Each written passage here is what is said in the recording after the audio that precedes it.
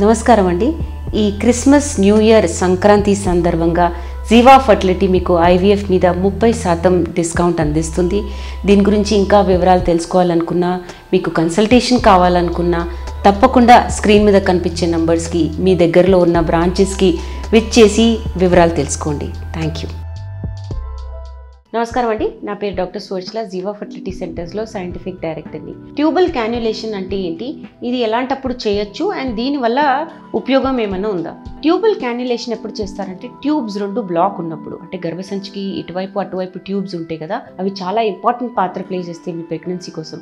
అండం విడుదలైనప్పుడు వాట్లను వెయిట్ చేస్తున్నప్పుడు కణాలు చేరాక ఆ అండంని ఫలదీకరణం చేస్తేనే బేబీ గర్భసంచిలోకి వచ్చి అతుకుతుంది అనమాట దాన్ని ఎంబ్రియో అంటారు. సో ట్యూబ్స్ పాత్ర చూసారు కదా చాలా ఇంపార్టెంట్. ఎక్కడైనా బ్లాకేజ్ ఉంటే ప్రెగ్నెన్సీ అనేది డిలే అవ్వచ్చు లేదా రాకపోవచ్చు మిస్క్యారేజెస్ కూడా అవ్వచ్చు. ట్యూబ్లో ప్రెగ్నెన్సీ వచ్చి ఎక్టోపిక్ ప్రెగ్నెన్సీ అవ్వచ్చు ఇలాంటివన్నీ ప్రమాదాలు జరగచ్చు అనమాట ట్యూబ్ బ్లాక్ ఉందని ఫస్ట్ ఆఫ్ ఆల్ ఎలా తేలుస్తారంటే హెచ్ఎస్జి హిస్ట్రోసాల్పింకోగ్రామ్ అనే ఒక చిన్న ప్రొసీజర్ చేస్తారు. ఇందులో డై గర్భసంచిలోకి వేస్తారు ఒక స్పెషల్ డై.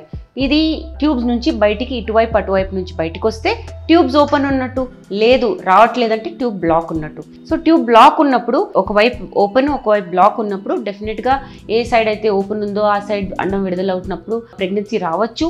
ట్రీట్మెంట్లు కూడా అలాగా చేసుకోవచ్చు ప్లానింగ్. కాకపోతే ఇది వర్కౌట్ అవ్వట్లేదు అనుకోండి అప్పుడు ట్రిబుల్ క్యాన్యులేషన్ అనే ప్రొసీజర్ చేస్తారు. ఇది కాకుండా ట్యూబెక్టమీ అయిన వాళ్ళు అంటే ట్యూబ్స్ రెండు ప్రెగ్నెన్సీస్ వచ్చిన తర్వాత ట్యూబ్స్ రెండు కట్టేశారనుకోండి అలాంటప్పుడు కూడా ప్రెగ్నెన్సీ రాదు.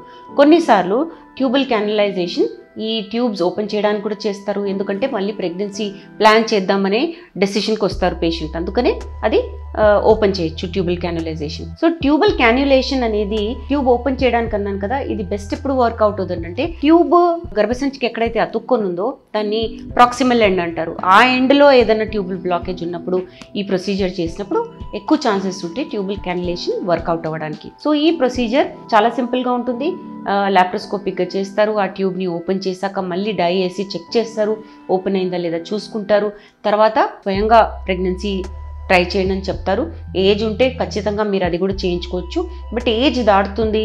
మీ అండం క్వాలిటీ కూడా తగ్గిపోవచ్చు అనుకున్నప్పుడు ఫర్టిలిటీ ట్రీట్మెంట్కి వెళ్ళిపోండి అది మంచిది అంటారు సో ఫర్టిలిటీ ట్రీట్మెంట్కి వెళ్తున్నప్పుడు ట్యూబుల్ క్యాన్యులేషన్ పనిచేయలేదు అనుకోండి అంటే ఓపెన్ అవ్వలేదు ట్యూబ్స్ అలాంటప్పుడు ఐవీఎఫ్కి వెళ్ళిపోండి అని చెప్తాం. సో ఎప్పుడు పని చేయదు ట్యూబర్ క్లాసెస్ ఉందనుకోండి లేదా ట్యూబ్స్లో చాలా స్కారింగ్ ఉందనుకోండి అంటే లోపల వాతావరణమే బాగాలేదనుకోండి ఇలాంటి ప్రాబ్లమ్స్ ఎండోమెట్రియోసిస్ చాలా ఉండి ట్యూబ్సే అతుక్కొని ఉన్నాయి అనుకోండి అలాంటప్పుడు ట్యూబుల్ క్యాన్యులేషన్ పనికి రాకపోవచ్చు. అలాంటప్పుడు ఐవీఎఫ్కి వెళ్ళిపోండి అని చెప్తుంటారు. ట్యూబ్ బ్లాక్స్ ఉన్న వాళ్ళకి డెఫినెట్గా ఏదైనా ఇన్ఫెక్షన్ ఉందా లేదా చెక్ చేసుకున్న తర్వాతనే ఐవీఎఫ్ చేయడం జరుగుతుంది. దీని గురించి ఇంకా వివరాలు కావాలనుకుంటే ట్యూబుల్ క్యాన్యులేషన్ అయింది అయినా మీకు ప్రెగ్నెన్సీ రావట్లేదు మీరు ప్రెగ్నెన్సీ ప్లాన్ చేయదలుచుకున్నారు అనుకుంటే తప్పకుండా జీవా ఫర్టిలిటీ సెంటర్స్కి రండి. Thank you